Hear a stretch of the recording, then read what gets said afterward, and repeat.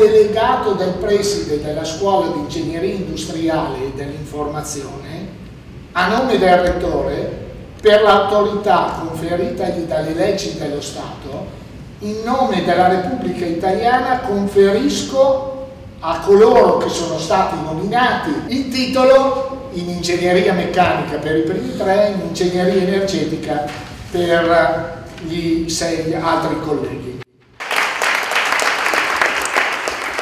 Mattinata di emozioni al Politecnico di Piacenza, dopo la discussione della tesi sono stati proclamati nove nuovi dottori, tre in ingegneria meccanica e sei in ingegneria energetica. Tra loro solo una donna, Nicoletta De Franceschi, che ha già trovato lavoro a Roma.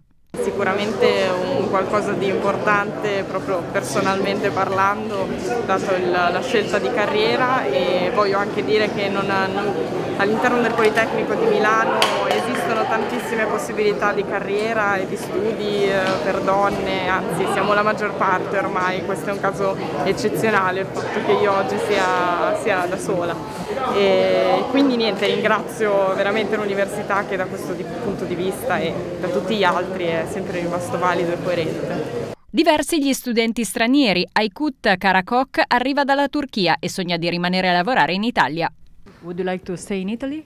È questo uno dei miei obiettivi ed è il motivo per il quale mi trovo qui. Laurearsi al tempo del Covid, quindi una doppia difficoltà possiamo dire per questi ragazzi, ma anche una doppia soddisfazione? Direi di sì, infatti io nel mio discorsetto ho voluto specificatamente sottolineare questo aspetto perché questi sono ragazzi che hanno svolto quasi tutto il loro percorso, tranne il primo semestre, durante il periodo del Covid, dimostrando una disponibilità e anche una volontà che deve essere riconosciuta e della quale dobbiamo essere grati e siamo grati anche noi al Politecnico. Il Covid è stato difficile per tutti, purtroppo lo è ancora, speriamo di uscirne presto. Il Politecnico come struttura, come corpo docente ha messo in campo una grandissima volontà di superare le difficoltà e lo ha fatto in modo molto efficiente, in modo molto pronto, ma non ci saremmo riusciti se non ci fosse stata un'analoga risposta da parte degli studenti.